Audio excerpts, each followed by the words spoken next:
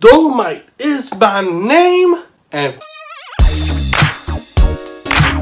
I just saw the movie Dolemite is my name, originally released on Netflix back in October 2019. Dolemite is my name is directed by Craig Brewer. My rating for Dolemite is my name is a 5 out of 5, and here's why.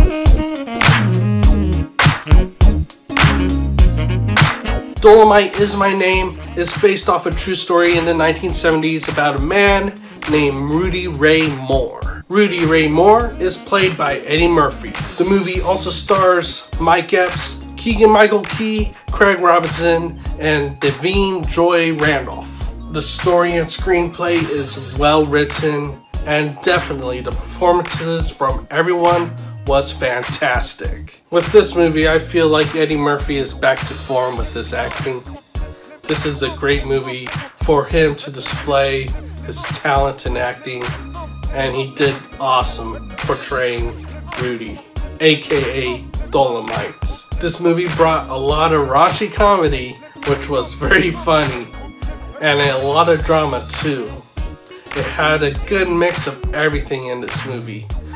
This movie even is very heartfelt. The direction of this movie is great. Craig Brewer did, once again, a fantastic job. One thing I notice about Craig Brewer's movies is the musicality he likes in them. Like his previous movies, Hustle and Flow and Black Snake Moan. Yeah, he did the Footloose remake too. That is my review of Dolemite is my name.